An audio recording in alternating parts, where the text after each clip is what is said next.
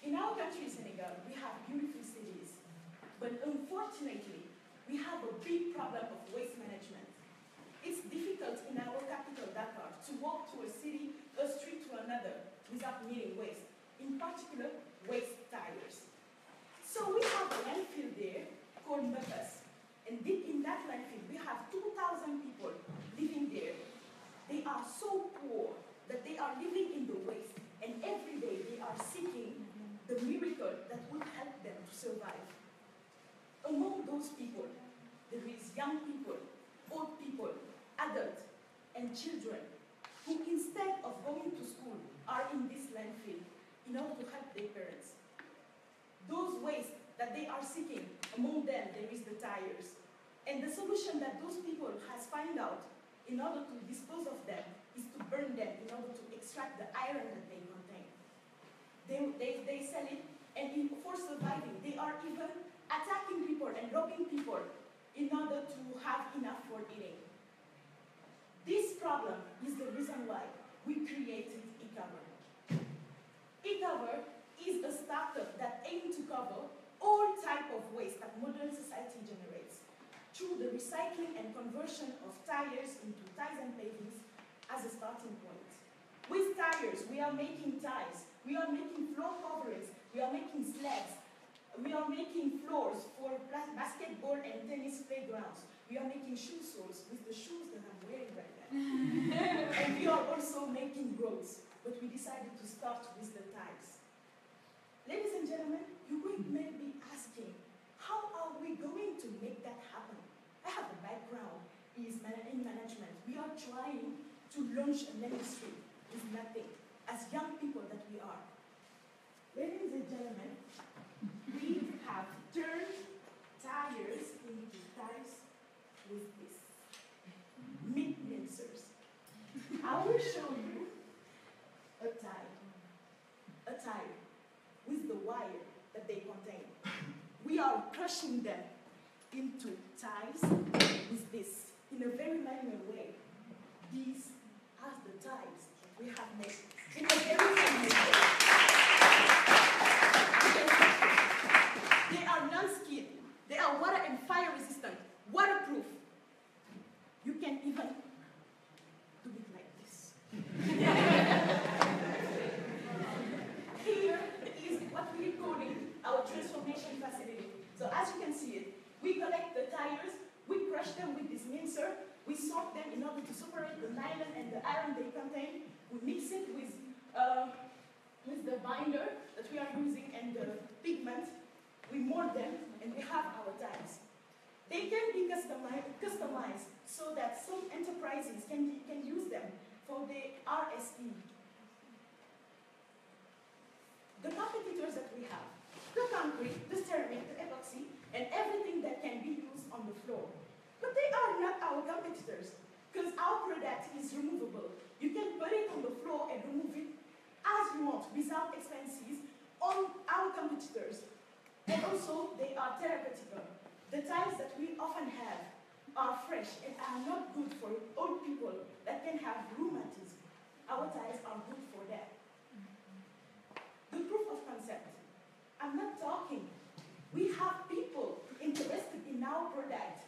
We have these persons that are interested in our product, and the Federation of Football of Senegal is interested in the crumb rubber that we are making, who is feeding the stadium for the football playgrounds. Our market size. In Senegal, we have 136 stadiums, and these stadiums are using two tons of crumb rubbers each month. And it is like, it is something that we should feed every time, every time. We have this number of managed uh, household and hotels and schools that require it for the injury of children who can make food. Our members are these people. We have an engineer who has made a 3D printer, which allow us to have this printed with the 3D printer. With the plastic that we are making, we can make some filaments for our product. And after, what do we want to do?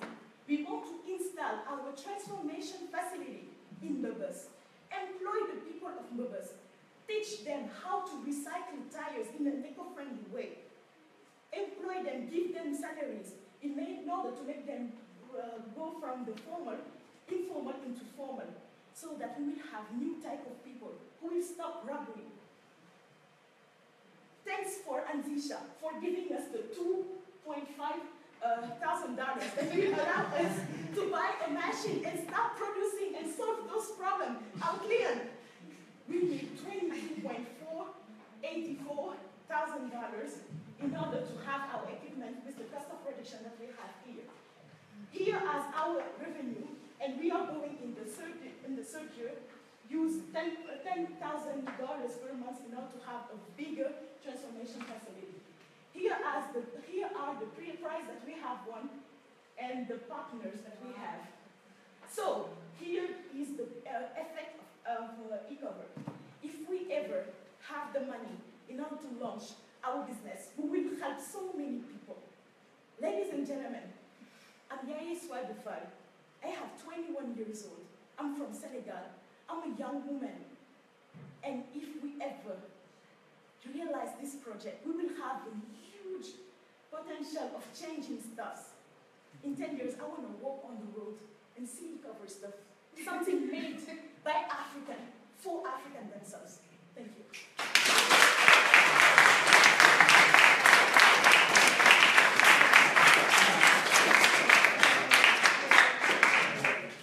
I'd like to invite uh, Michelle and Gosi to lead the questions for our final round.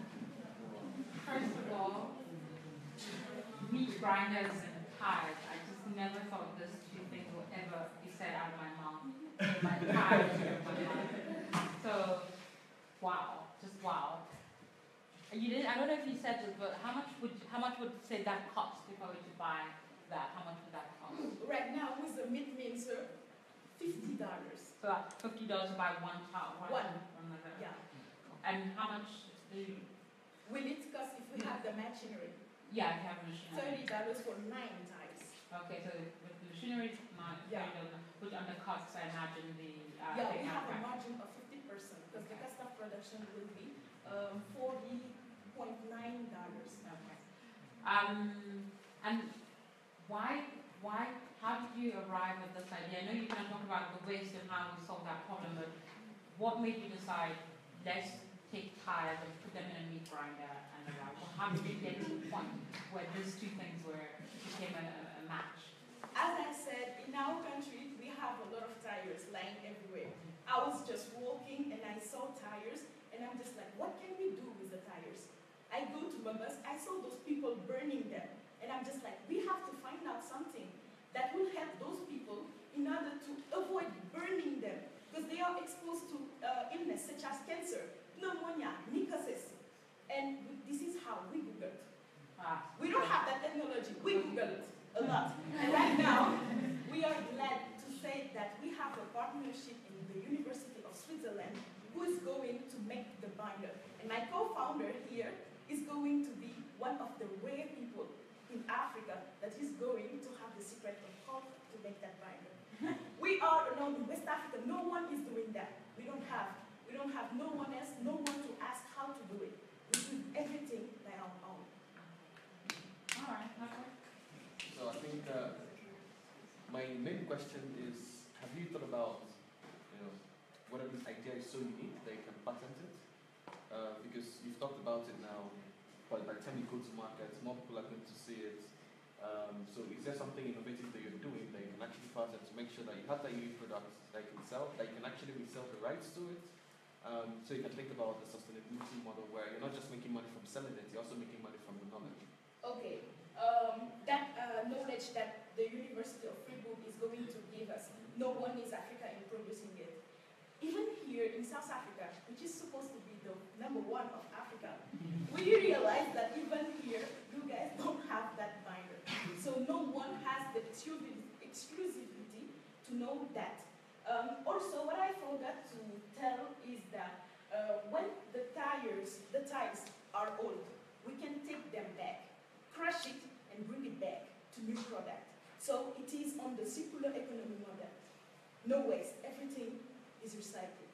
Our, our, um, how we used to say in Recover that until flying cars, our project will remain. We also used to say that nothing is uh, lost. Everything is transformed.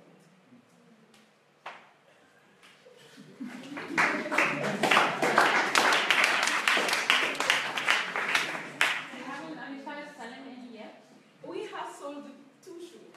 That we, the person, yeah, the shoe that I'm Can you just raise your leg? I just want to see the sole of your shoe.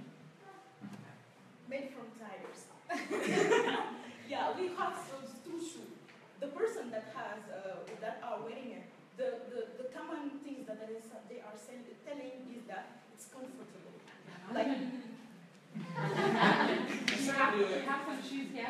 yeah, What I said. you, you want it. So I can give you mine.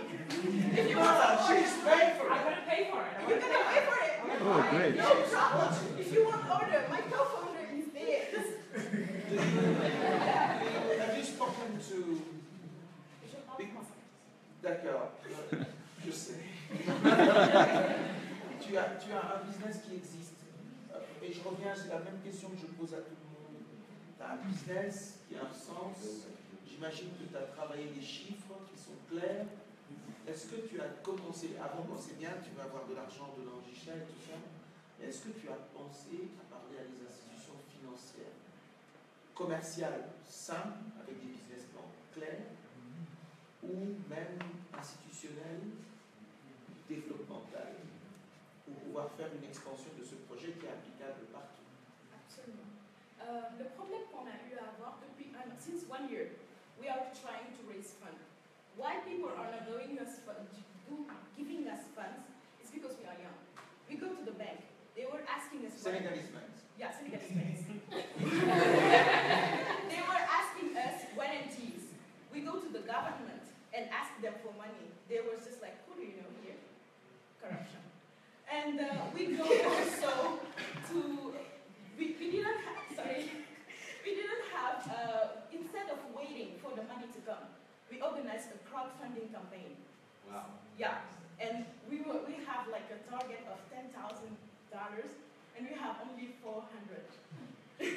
it was enough in order to make us survive till now. Why do you think you only have 400? Is your idea not good enough or your crowdfunding is not done right? No, it was because every time we talk about the project, people are just like, why am I going to give you my money and you're going to have more money? I want to be on the assets. I want to be on the capital because I know that this thing is going to grow. I want to be a part of it. That's our problem. Who, what platform did you use to crowdfund? Indiegogo. Uh, Yeah. The, the But kind, yeah. To be, I mean, look, to be fair, if you wanted ten thousand dollars, ten thousand people give you one dollar each, which is very easy for most people to give one dollar each. That's Yeah. that's enough. So perhaps maybe the marketing. I mean, I. I never heard about it, Too and and I, I'm an, I support stuff on Yeah. Indiegogo. So I think perhaps the marketing and, and making sure you push it from a PR point of view as well, Yeah. to We, make sure people can support it. yeah. We, we started at the early stage, like we didn't have a lot of knowledge and not a lot of network. So we were just our friends, we are students, they don't have money. Yeah. That's We can take one last question. Yeah, so my question is, um, are there thoughts where you can actually make your own products and sell it like online, like you have the shoes? So Yeah. whether whether it's a making it website by where our own, ourselves, girls. Yeah, yeah. I'm saying like, Yeah. have you thought about you know having a place where people like she wanted to buy one, if she wants to, let's say you know we all live here and she wants to buy ten, Yeah. where she can actually go and place order for An ten online shoes. Yeah, Yeah. online store where she can. Yeah, we think about it like selling it online, or also we have uh, think of having partnership. For instance, for now we have that partner in Tunisia, who is a, a, a fashion uh, in the fashion world, and he wants to involve the environmental stuff inside. So also we, we think of having a, a canal of distribution and also uh, to take orders. Through our uh, Facebook page, who has, who has 2,000 uh, person liking it. We've run out of time, so I have to take you a bit. Thank you guys.